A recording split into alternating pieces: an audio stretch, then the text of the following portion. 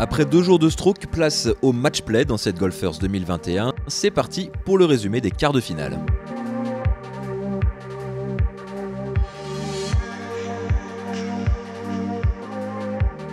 Au programme de ces quarts de finale, deux foursomes et cinq simples pour les 8 équipes encore en lice. 8 équipes parmi lesquelles le RCF Labouli fait figure d'épouvantail après sa perf en qualification. Et face à Lyon-Salvani, les ciels et blanches assument parfaitement leur statut.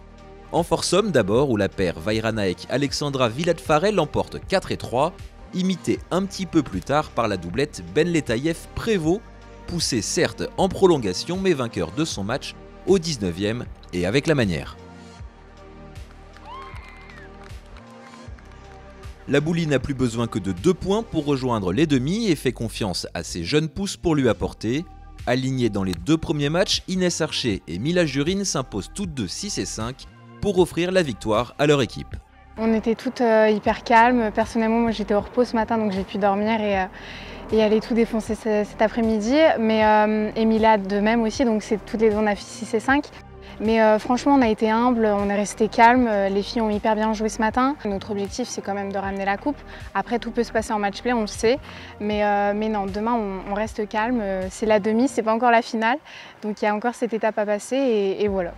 Le deuxième quart entre Saint-Germain et Saint-Nom-la-Bretèche est plus accroché. Charlotte Liotier et Lou Rousselot s'imposent certes 7 et 6 dans le deuxième foursome, mais l'équipe haute égalise dans la foulée avec le succès 4 et 2 de Capucine Floro et Clémence Henry. Dans l'après-midi, c'est Saint-Nom qui se détache en simple. Victoire 2 et 1 de Diane du chef de la ville.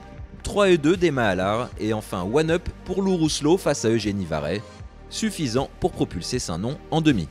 Tout le monde est très content, euh, c'est exceptionnel ce qu'on a fait. Euh, les petites euh, ont vraiment très bien joué. On a Diane qui nous a apporté un magnifique score, un magnifique point. Donc je suis très contente et maintenant on va se reconcentrer sur demain. C'est une nouvelle journée et on va, essayer de faire au maximum. Je sais un petit peu gérer tout ça, je sais apporter les points entre guillemets déterminants et donc on va essayer de faire la même chose pour demain. Rencontre partagée également après les Sommes entre Saint-Cloud et le Golf Club de Lyon dans le troisième quart. Une victoire 4 et 2 de part et d'autre dans les doubles matinaux et un match disputé également dans l'après-midi Saint-Cloud décroche les deux premiers points grâce à Kitri Guignard et sa mère Amandine Vincent dans le match suivant, mais les trois autres simples sont accrochés. C'est finalement Alix François Poncet qui décroche le point de la victoire après un coup de fer 7 déposé au drapeau au 18. Je pense que toute l'équipe est super contente. Ça a été euh, un match accroché. Il y avait 1-1 ce matin. Et, euh, cet après-midi encore, euh, tous les matchs étaient très accrochés. Et ça s'est joué sur le 18, donc je pense que toute l'équipe est très contente d'avoir passé ce quart de finale. Demain, on n'a rien à perdre. Aujourd'hui, on a gagné. On pense qu'on peut encore gagner, donc on va tout donner et, on va le faire.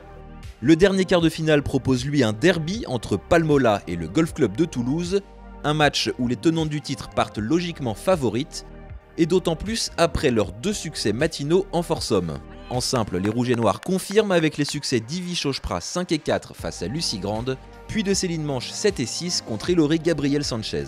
Faire 800 km pour jouer contre une équipe qui euh, habite à 40 km de chez nous, c'était assez marrant. Voilà, on a tout donné le matin. Euh, les filles, elles ont vraiment fait le job le matin. Et l'après-midi, après, le mot d'ordre, c'était vraiment, euh, voilà, vous jouez à 300% et derrière, euh, vous gagnez vos matchs et, euh, on se qualifie pour la demi-finale. Je pense qu'on a rempli le job euh, sur, les simples et sur les doubles, donc on est vraiment contente de cette journée. Samedi, les demi-finales opposeront donc le RCF Laboulie à Saint-Nom-la-Bretèche et Toulouse à Saint-Cloud.